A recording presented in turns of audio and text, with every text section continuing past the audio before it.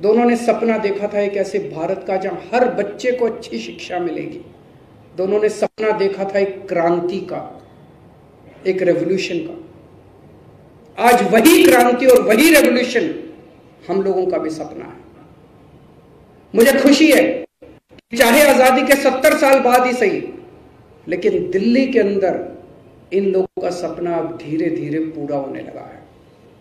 आज सवेरे जब दिल्ली के स्कूल खुलते हैं तो उनकी एक क्रांति हर दिल्ली के स्कूल के अंदर जीवंत हो जाती है।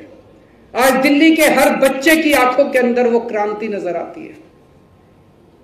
दोस्तों, आज गणतंत्र दिवस के अवसर पे मैं ये ऐलान करता हूँ कि दिल्ली सरकार के हर दफ्तर के अंदर, दिल्ली सरकार के हर ऑफ़िस के अंदर बाबा साहब अंबेडकर और शहीद आज़म भगत सिंह की तस्वीरें लगाई जाएँगी।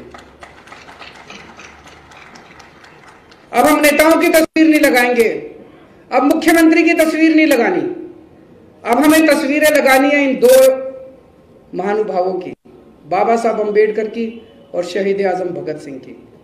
इन दोनों के असूलों के ऊपर हमारी दिल्ली सरकार चलेगी और ये दोनों हम लोगों को हर कदम पे प्रेरणा देते रहेंगे। भारत